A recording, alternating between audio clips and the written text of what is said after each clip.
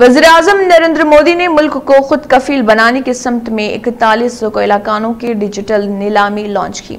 इस नीलामी से आइंदा पाँच से सात बरसों में तैंतीस हज़ार करोड़ रुपए की सरमाकारी होने और तकरीबन दो लाख अस्सी हज़ार लोगों के बर रास्त या बिलावास्ता तौर पर रोज़गार के इम्कान है।